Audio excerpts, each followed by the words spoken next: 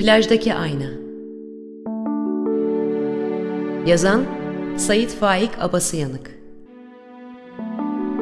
Seslendirenler Anlatıcı Hakan Vanlı Çocuk Mert Turak Kadın Gülen Karaman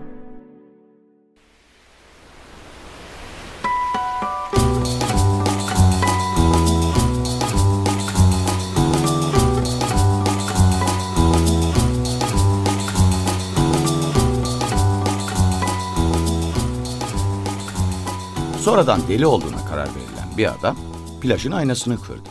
Bu insanı yemyeşil gösteren, altının sırrı dökülmüş, camlaşmış aynanın insanları çirkin göstermesine içerledi diye tefsir ettiler. Hayır, hayır ondan değil. Evvelce aynacıymış. İtalya'dan ayna ithal edermiş. Sonra iflas etmiş. Az buçuk oynatmış. Ayna görünce kırmamazlık edemezmiş. Diye uydurdular. İşin aslını bir ben biliyorum, bir de ayna. O halde aynayı kıran da sensin diyeceksiniz. Bize numara yapıyorsun. Pekala. Aynayı kıran benim. Deli olduğuma karar verildi. Ama zararsızmışım. Pek zararsızmışım. Öcümü aynalardan alırmışım. Bunlar doğru değil.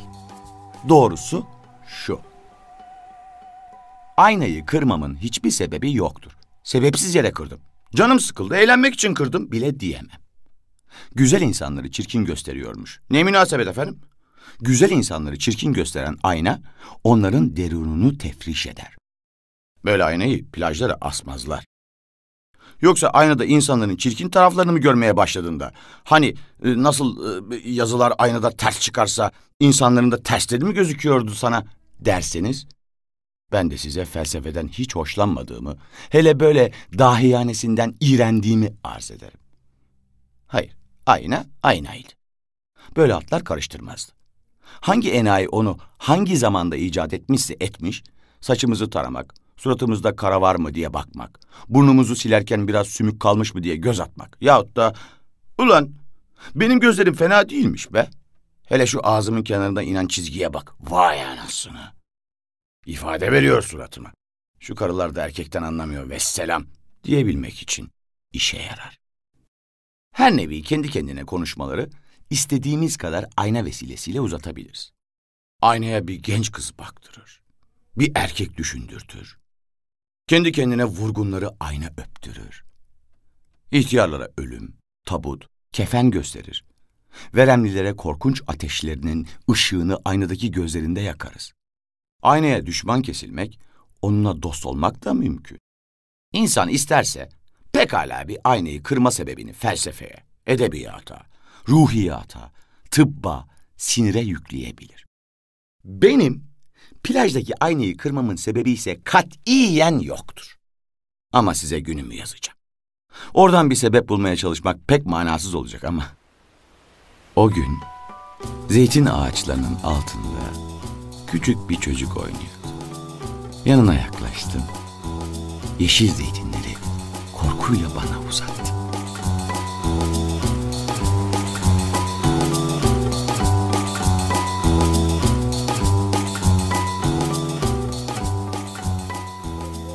Sizin mi bunlar? Benim ya. Ben taş atmadım. Kendilerine düştü bunlar. Elindekiler ne? Acı şeyler. Hmm, bunlar ne biliyor musun? Bilmem.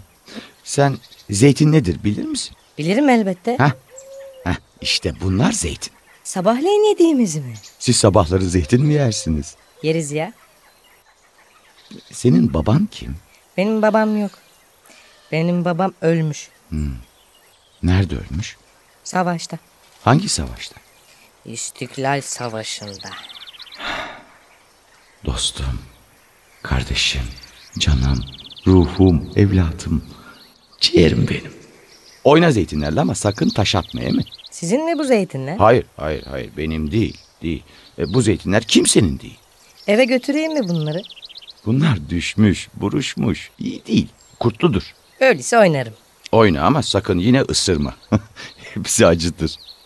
İyileri de mi acıdır? Hı hı, iyileri de acı olur. Sonra nasıl tatlılaşır? Hmm, onu ben de pek iyi bilmem. Kim bilir peki? Ne yapacaksın? E, sabahleyin yemek yemek için zeytin yaparım. Annen var mı senin? Var tabii. Ne iş yapar? Çamaşıra gidiyor. Ha. Peki sen ne olacaksın büyüyünce? Ben mi? Hı hı. Ben ben boyacı olacağım. Ne boyacısı? Ayakkabı boyacısı. Neden ayakkabı boyacısı? Ya ne olayım? Doktor ol. Olmam. Neden? Olmam işte. Neden ama? Doktoru sevmem ki. Olur mu ya? Doktor sevilmez olur mu? Tabii sevmem. Annem hasta oldu evimize geldi kumbaramızı kırdık. Bütün 25'likleri ona verdik. Sonra çeyrekler kaldı. Onlarla da reçeteyi yaptırdık. O da zorla. Ama annen iyileşti değil mi? Annem iyileşti ama paralarımız gitti. İki gün yemek yemedim ben. Peki. Öğretmen ol. Ben okula gitmiyorum ki. Neden? Öğretmen beni dövüyor. Neden? Yaramazlık ediyorum da ondan. Sen de yaramazlık etme. Ben yaramazlık ne demek bilmiyorum ki. Öğretmenin yapma dediği şey. Belli olmuyor ki. Bir gün arkadaşımın biri çamaşırcının piçi dedi. Ben de dövdüm onu. Öğretmen de beni dövdü. Ondan sonra hep çamaşırcının piçi diye çağırdılar. Hiç kimseyi dövmedi. Yaramazlıkmış diye. Birkaç gün sonra yanımdaki arkadaşımın iki kalemi vardı. Birini aldım. Bu sefer hırsızsın sen diye dövdüler. Benim kalemim yoktu ondan aldım. Sonra o da yaramazlıkmış. Hem de çok fena bir şeymiş. Bir daha kimsenin kalemini almam dedim. Defterini aldım. Bu sefer hem dövdüler hem de okuldan kovdular. Çok fena yapmışsın. Fena yaptım. Ben adam olmak istemiyorum ki. Ya ne olmak istiyorsun? Boyacı olacağım dedim ya. Ahmet abim de boyacı. Sever misin Ahmet abi? Tabii severim. Annem de sever. Bazı gece bizde kalır. Para verir bize. Aç bile kalsak o bulur bize ekmek. Asıl abin değil mi? Nasıl asıl abi? Basbayağı asıl abin. Babanın oğlu değil mi o da? İyi tabii. O kimin oğlu? Bilmem. Ee, kaç yaşında? Benden büyük. Sen kaç yaşındasın? Dokuz. O? Büyük işte. Ne kadar? Senin kadar var. Ha. Şu mesele. Ee, peki boyacı olunca ne olacak? Para kazanacağım. Sonra? Sonra rakı içeceğim. Sonra? Sonra yine ayakkabı boyayacağım. Sonra? Sonra cigara içeceğim. Sonra? Elinin körü. Aa, bu laf ayıp işte. Senin kulaklarını çeker. Anneme söylersem seni. Bir de selam söyle. Oğlum. Oğlum. Anne anne bak zeytin. At onları elinden. Aa, Ne yapıyorsun Hızır? Niye adamcağızın suratına attın? üzülme hanım. Üzülme. Çocuktur. Anne be. iki saattir beni lafa tutuyordu. Seni sevmiş de konuşuyor oğlum. Öyle nobran olma. Ben onu sevmedim ki. Ahmet abim gibi boyacı olacağım dedim. Bana sen doktor olacaksın diyor. Hah, bak ne güzel söylüyor. Kendisi olsun doktor. Sen demiyor muydun? Allah kahretsin o herifleri gözlerini toprak doyursun diye. Aa, öyle mi dedim? Allah muhtaç etmesin demedim mi? Öyle dedim. Değil mi beyefendi? Allah hekime hakime muhtaç etmesin. Doğru doğru etmesin. Anne be. Anne ben boyacı olacağım değil mi? Başka ne olabilirsin ki? Benim babam neciydi anne? Boyacıydı. Na gördün mü? Babam da boyacıymış işte. Öyle mi? Evet. Aa, e, savaşta ölmüş hangisinde? Savaşta ölmedi. Sen bana öyle söylemedin miydi anne? Kim söylemiş sana savaşta öldü diye?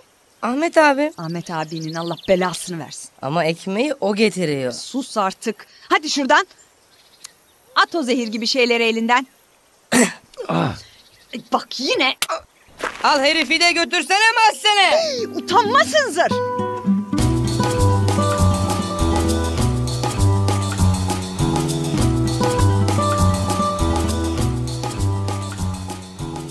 kadın giderken bana da bir göz atmayı unutmadı. Büyülenmiş gibi kadını takip ettim. Kapı yerine takılmış bir çuvalın yırtığından içeri girdik. Arkasında hamamlarda olduğu gibi bir tokmağı olan bir kapı açtık. İçerisi yıkanmamış bir sefil insan kokusuyla abdesthane kokuyordu. Muşambayla örtülü masanın üzerinde iki domates, iki de hıyar vardı. Rakı alalım mı? İstemez. Paran yok galiba. Var, var ama rakı içmek istemiyorum öyle sıcağında.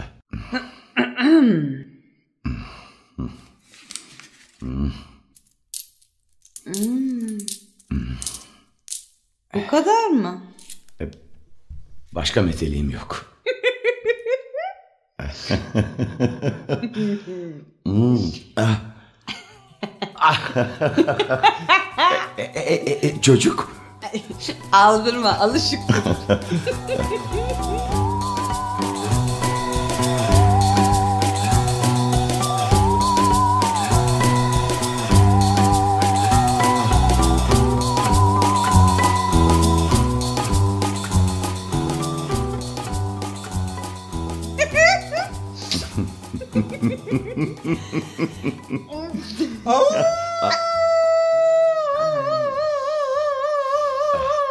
Beş on para at da şuna sussun. Yoksa susmaz. E,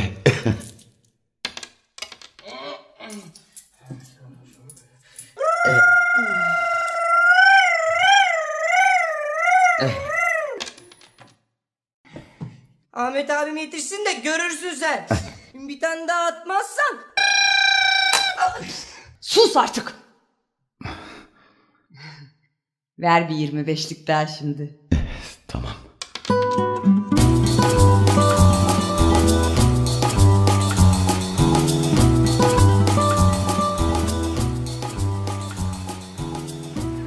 Oradan adeta erimiş bir öğle aydınlığına çıktığım zaman şakaklarımda bir zonklama vardı. Hemen plaja koştum. Plaja temizlenmek, bir şeyden silkinmek, ferahlamak için mi koştum? Hayır, hayır, hayır.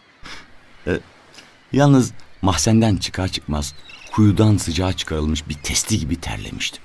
En çok kafam terlemişti. Parmaklarımı saçlarımın diplerine sürdüm. Tırnaklarımın ucu tarafından emilen yahut bana emilir gibi gelen bir ıslaklık duymuştum. Elime bakarsam bu ıslaklığın ter olmadığını, tepemden kan sızdığını anlayacakmış gibi oldum.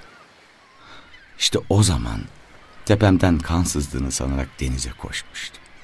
Yolumun üzerinde denize girinceye kadar hiçbir şey görmediğimi sanıyordum.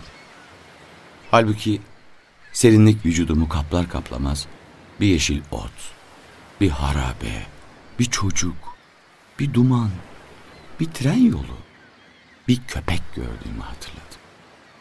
Sonra kadının çocuğunun gözlerini gördüm. Sırtımdaydılar. Piç. Ne biçim bakıyordu adama. Deniz suyu iyi geldi. İyi gelmesi de mühim bir şey değil. Yalnız şunu anladım da rahatladım ki kafamdan sızan kan değil, termiş. Öyle olsa deniz kıpkırmızı kesilirdi. İşte deniz suyunun yalnız bu faydası oldu.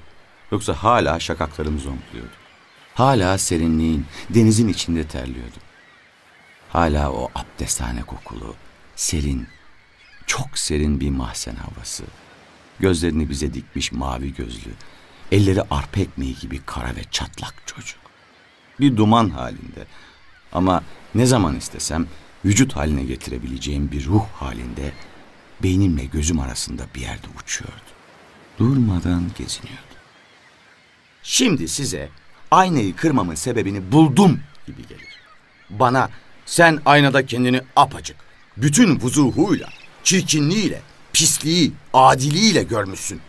İşte onun için de şiddetle hayır derim. Siz gülümser, aynada bütün insanlığı, bütün çirkinliğiyle kendi vasıtanla sezer gibi olduğun için insanların bütün denaetlerini, sefaletlerini vallahi de hayır, billahi de hayır. O halde sen bayağı delirmişsin diyeceksiniz. Neden böyle söylüyorsunuz canım? Bir plajın pis aynasını hiçbir şey düşünmeden şuursuzca eğilip yerden bir taş alarak hatta o taşı denizin durgun yüzünde dört beş kere sektirmek içinmiş gibi alarak aynayı isteyerek bile değil kazara da denemez şöylece kıravermek. Neden olmasın?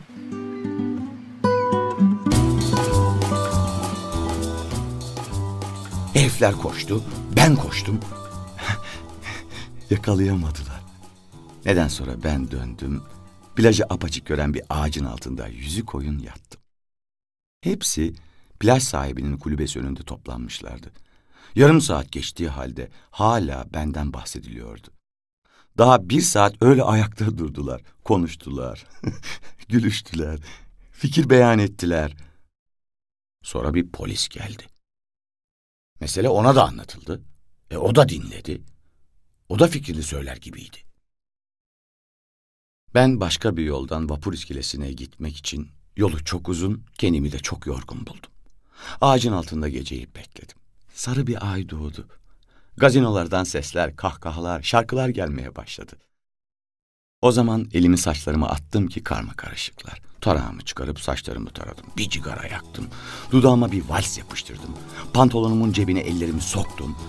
Plajın önünden ıslık çalarak herkes gibi, mesut bir adam gibi, aynayı kıran ben değilmişim gibi geçtim.